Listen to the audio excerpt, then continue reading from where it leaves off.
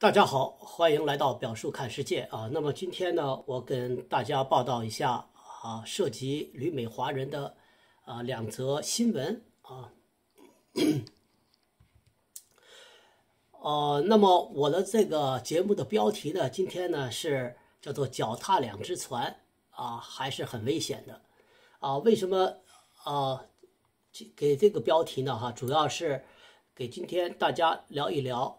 啊，我们伊利诺伊州的啊一个大学教授啊，是我们南伊利诺伊大学 Carindale 分校的一个数学教授啊，他最近啊今天了，应该是今天被美国联邦啊大陪审团这个起诉了三项罪名啊。这个教授呢，他是负责他在二零零零年来啊呃一直开始在南医大 Carindale 分校。啊，担任数学教授和研究员啊，主要从事这个啊偏微分方程控制理论、优化理论、动力学系统和计算计算科学的研究啊，应该是一位非常啊聪明的教授啊。他五十九岁，根据他的这个拼音的这个拼法啊，姓名拼的拼法应该是来自于中国大陆啊，叫肖明清。啊，肖教授五十九岁啊，应该是在南医大已经工作了很长时间。那么他被起诉了啊，被起诉的是什么罪名呢？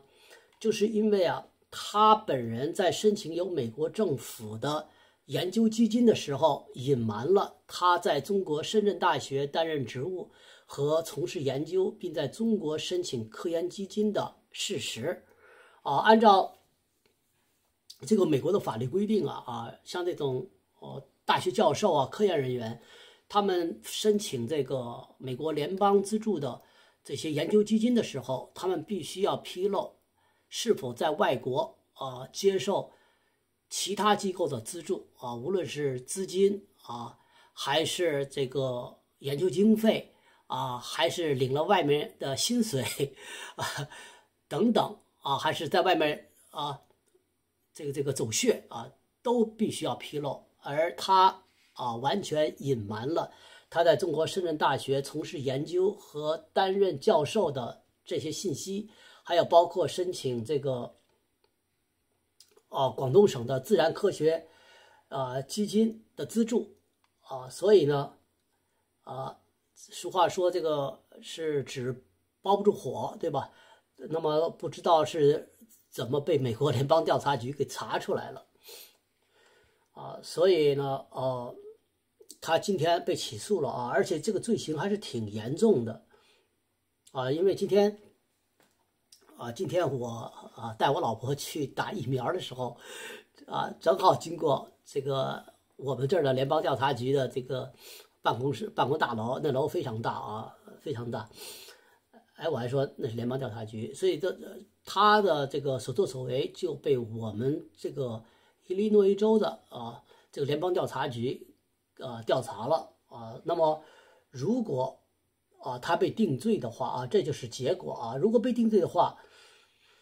他的每项电汇电汇欺诈罪啊可能会面临最高二十年的这个呃刑期监禁啊。那么做出虚假陈述，可能面临五年。那么它加起来呢？啊，三，它是三个指控吧？三个指控加起来，加起来差不多要四十五年。当然了，估计不会判那么重啊，但是进监狱是很有可能的。那么除此之外呢，还有一个二十五万美元的罚款。好，那么今天这个新闻被披露出来之后啊。这个还是引起了不小的震动吧，特别是在我们伊利诺伊州，啊，因为在伊利诺伊州，大家可能也都听说啊，伊利诺伊大学是非常有名的，在那里任职的啊华裔教授、华人教授啊非常的多，包括我的母校伊利诺伊大学啊 Springfield 分校也有很多。啊，而且他们的背景都是过去的这些老留学生啊，啊，就是像我这种啊，不过没他们那么聪明啊，去当教授了。啊。那么这些人呢，啊，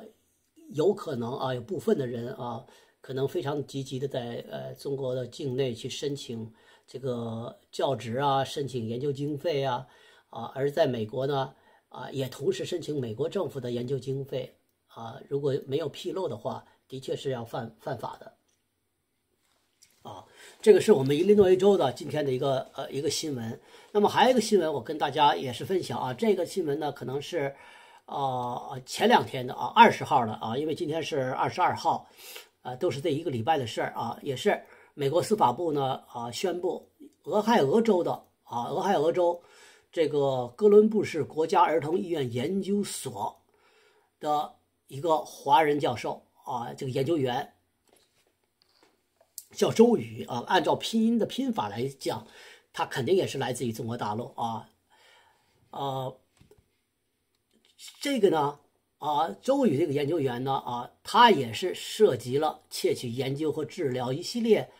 儿科疾病啊的商业机密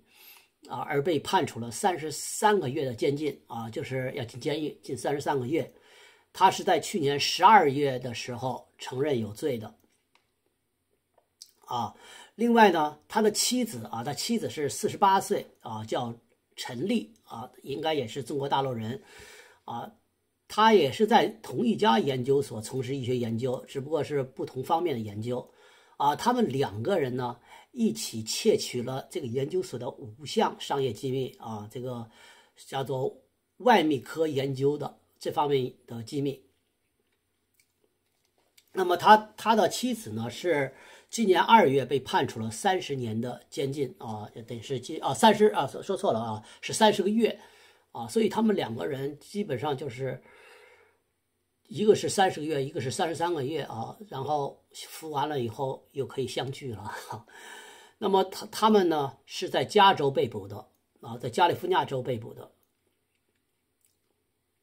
啊，他们俩究竟干了什么呢？他们俩一样啊，他们的研究。这个科目呢，也是使用了美国联邦政府提供的这个相关的研究经费啊，他们呢，啊，利用这种研究经费啊，从事研究工作拿到的研究成果，他们两个人呢，在中国设立了自己的公司啊，用于给自己来谋谋利、谋福利。同时呢，啊，他们还这个隐瞒了啊，他们在呃，中国申请这个中国国家的这个自然科学呃基金会的研究基金，还有这个申请了这个啊，应该是呃中国的外国专家局的这种啊人才计划的啊这些事实，他们都没有披露啊。当然了，他们在中国设立公司啊，设立自己的公司，利用这些研究成果为自己谋谋利啊，谋利益。啊，这些到最后呢都被美国啊调查清楚了啊，所以呢他们自己也认了罪，啊认了罪。那么作为定罪的一部分呢，这两口子啊放弃了他们啊自己这个医疗公司的股票啊，我估计他们可能在美国也有公司啊，一百四十五万美元啊，同时呢还要支付两百六十万美元的赔偿啊啊，所以呢这一个礼拜啊就有。这两则新闻涉及到旅美的中国大陆来的啊，这个呃，这个这个旅美的这个学者啊，其实这些人呢，他们在美国的研究机构和在美国的这个大学里啊，应该来说，这个福利待遇各方面都还是不错的啊，那么稳稳的这个中产阶级以上啊，而且时间很多。当然了，因为最近最近这几十呃几年来，特别是最近这十年来啊，中国的。各种各样的千人计划呀，各个什么长江计划呀、黄河计划啊，这种啊五花八门的吸引人才的啊这种计划非常的多啊。那么的确呢，啊各种各样的吸引人才的计划呢，是啊很有很大的诱惑力的啊。特别是在地方的那些，比如说像中国南方的那些，又是给你房子，又是给你 上百万的研究经费，对吧？你还有什么安家费、各种费，对吧？你工资什么都有，的确是很吸引人，啊。那么这些科研人员呢，和这种学术人员在美国呢，觉得啊，光靠这个公司啊还是不够啊，光靠这点工资还是哎不太够啊，还是希望回祖国去开创一番事业，啊。当然了，啊，如果你要是在美国没有领取啊没有申请美国政府联邦政府的这个研究经费，也倒无所谓了啊。但是呢，如果你要是申请了啊，或者使用了美国的联邦研究经费的话，你必须要披露你在海外所担任的职务，或者是在海外你所做的一切啊。比如说，给大家打一个比方啊，像我在州政府工作的时候啊，从一个普通的公务员升职。当升到一定的职务的时候，我们都要填一个表，啊，叫做经济利益冲突表格。这个表格就是啊，要问你，啊，你除了在我们政府工作之外，你在外面还有什么经济瓜葛，还有什么经济利益，都必须要披露，如实披露，啊，因为在这个表格的对下一方啊，大家在美国啊，如果呃生活久了的话，都知道啊，在美国的那些表格上下面啊有一行啊非常小的字。就是说，我所陈述的都是事实和真实的啊，也就是说我没有撒谎，对吧？那么当你这个表格上问你在外面有没有经济利益的时候，你说你没有，而且你所陈述的是事实，那实际上你已经违法了。好，今天呢我就跟大家介绍到这儿啊，谢谢大家的收看，欢迎大家啊订阅表叔看世界，打开旁边的小铃铛，咱们下一次再见。